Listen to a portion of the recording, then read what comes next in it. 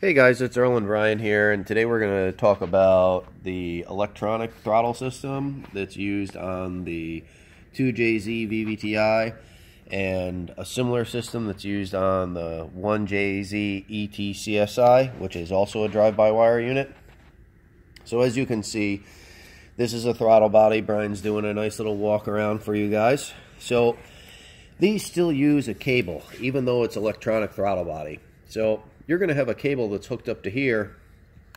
And what this cable is doing is it's rotating this sensor. And this is essentially your pedal position sensor. Um, some people call it a second TPS. But what it is, is it's measuring how much your foot is actually pressing the pedal.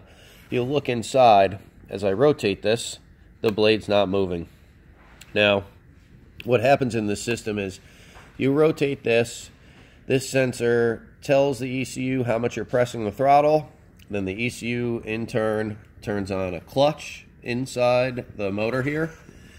And then the other two wires apply voltage to open or close the throttle body.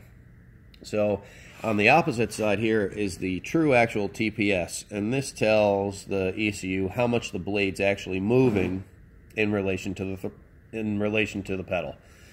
So this system is a little bit finicky and can be a little bit weird to work with. But uh, Driftmotion offers these bypass units. So this being a 2JZ throttle body would use this bypass unit right here. It's a Driftmotion 3403. Now what this is going to do is allow you to use this throttle cam here as a direct input to the blade. Now this is what we're running in the 2JZ BMW to remove the drive-by-wire system from the car. You cannot remove the drive-by-wire system if you're running a factory ECU.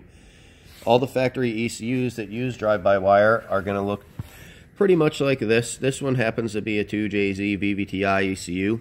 The 1JZ ETCSI will look pretty much the same. A Couple small differences, but the basic layout is the same. And we went ahead and I pulled out a Pro Series 2JZ VVTi harness so you can take a look at what it looks like. The connectors are going to be the same for the ETCSI. There's just small differences between the turbo setups. Now, this here we have a Driftmotion bypass for an ETCSI, so you can see the difference mechanically inside under this cover. It's a pretty big difference. So you want to make sure you order the correct bypass for the product that you're running. Now, I'll just touch on it one more time. The bypasses can only be used on an aftermarket ECU, and you will not be able to use them on a factory ECU.